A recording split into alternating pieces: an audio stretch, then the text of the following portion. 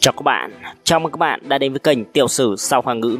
Trong bản tin ngày hôm nay xin cung cấp cho các bạn thông tin tiểu sử diễn viên ca sĩ Dung Tổ Nhi.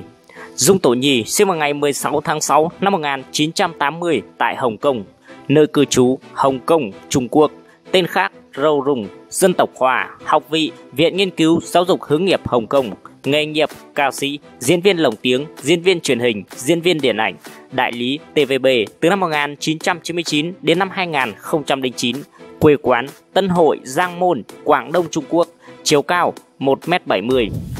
Dung Tổ Nhi là một nữ ca sĩ diễn viên người Hồng Kông từng 8 lần thắng giải nữ ca sĩ được yêu thích nhất tại giải thưởng Kinh ca Kim khúc của TVB 2003, 2007, 2010 đến năm 2012 và rất nhiều giải thưởng âm nhạc khác ở Hồng Kông. Năm 2010, sau khi kết thúc bản hợp đồng với tập đoàn EEG thì Dung Tổ Nhi đã ký tiếp hợp đồng với tập đoàn này và trở thành nghệ sĩ giàu nhất ở Hồng Kông với trị giá hợp đồng 64 triệu USD. Dung Tổ Nhi đã khiến cho các fan và giới truyền thông sốc nặng khi thừa nhận rằng cô là người đồng tính và đang hẹn hò. Người bạn là đồng nghiệp thân thiết Dennis Hò chính là tình nhân của cô. Tổ Nhi cũng lên tiếng yêu cầu giới truyền thông và người hâm mộ tôn trọng cuộc sống riêng tư của mình. Dung Tổ Nhi đã thổ lộ cô muốn công khai giới tính thật của mình từ lâu, nhưng e ngại những thị phi và sự tò mò của truyền thông.